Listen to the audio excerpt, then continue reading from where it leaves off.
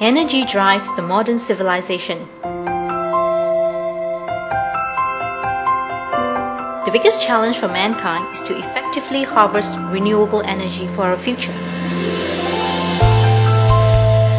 I'm now working with my team to design the next generation of wind turbines. I'm glad I have chosen engineering as my path.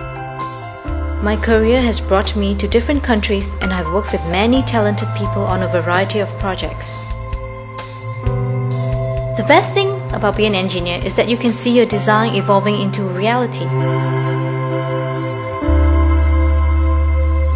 What is more gratifying is to play a role in a creation that benefits mankind and helps our environment.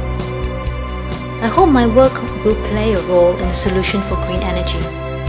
My contributions may be a drop of water in the ocean, but believe me, every drop matters. Everyone can play a little role to make this world a better place for our future.